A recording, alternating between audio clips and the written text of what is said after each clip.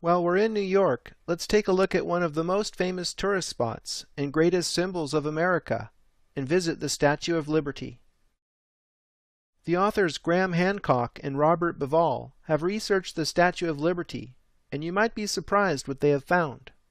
French sculptor and well-known Freemason Bartholdi designed the colossal statue originally for the opening of the Suez Canal in 1867. Fellow Freemason Gustave Eiffel, who was later made famous for his Parisian Tower, was commissioned as the statue's engineer. It is said Bartholdi modeled the sculpture after the Roman goddess Libertas. The truth is Libertas was an echo of the Egyptian goddess Isis. After Bartholdi's Colossus was rejected for the Suez Canal due to financial reasons, he repurposed it as the Statue of Liberty for New York Harbor. It comes as no surprise that the cornerstone for the Statue of Liberty was laid in a Masonic ceremony. Researcher Jim Allison has connected the dots and identified the triangle between Giza, Pharos, and the opening of the Suez Canal. The angle of this triangle matches the slope of the Great Pyramid and looks like the Greek letter delta, which beautifully echoes the Nile Delta. The Colossus of Rhodes was one of the seven wonders of the ancient world. The giant statue that stood on the island of Rhodes depicted Apollo, god of the sun, who also wore a crown of seven rays. Seven rays is very interesting in light of the culmination of the initiation ceremony into the cult of Isis. According to 19th century author Edward Schur, after a successful initiate survived all the harrowing tests and triumphed over death by fire, water, and temptation of the senses, he was led into an inner sanctum, where he looked upon a colossal metal statue of Isis, crowned with a diadem of seven rays. I believe seven is Isis's secret number. Isis's son Horus was god of the sun, just as Apollo depicted in the Colossus of Rhodes was god of the sun to the Greeks.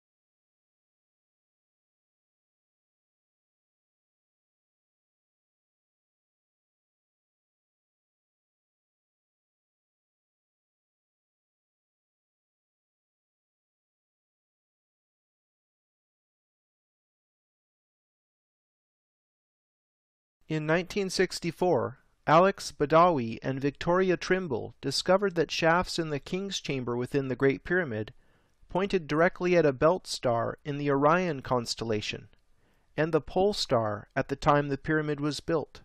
In 1993, Rudolf Gantenbrink got permission from the Egyptian authorities to send a robot up shafts in the Great Pyramid.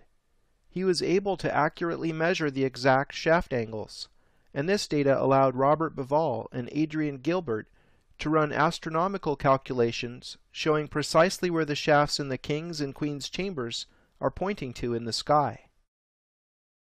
In their 1995 book, The Orion Mystery, Bauval and Gilbert revealed that the shafts in the Queen's chamber point directly to the star Sirius in the south, and to the pole star at the time the pyramid was built in the north. Orion and Sirius represented Osiris and his consort Isis to the ancient Egyptians.